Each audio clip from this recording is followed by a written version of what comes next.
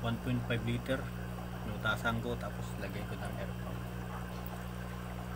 so eto lalagay ako ng uh, isang kutsarang asin. Tapos tinadagdag ko pa ng kalahati. Tapos 1 teaspoon lang yung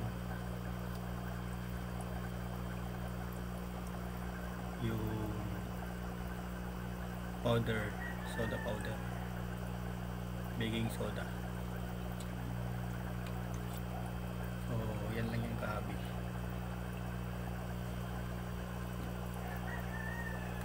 Tapos lalagay na ako ng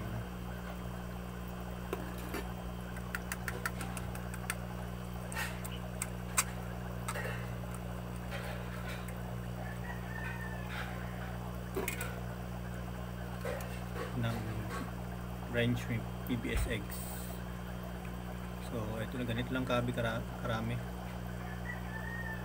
Tapos lalagay ko lang yan dyan.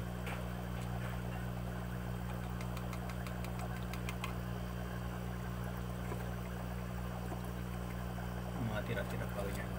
Gawin ko lang saglit